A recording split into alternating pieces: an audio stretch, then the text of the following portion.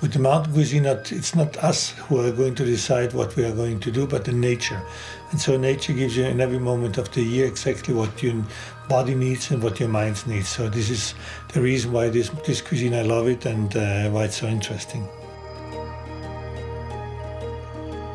The base of Cook the Mountain is the knowledge from the farmers, it's the knowledge and it's the old culture from the mountain. So this is the reason why it was so important for us to use this as base and then to get up to three stars with a kitchen based on the farmers' knowledge and special mountain traditions.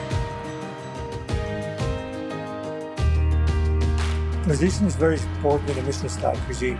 And I think uh, South Tyrol helps us a lot where we are born, how we, we grow up, and so goes to the mountain around us. So you have to do every day the same thing. You have to be very focused and you have to to, to be precise all the time.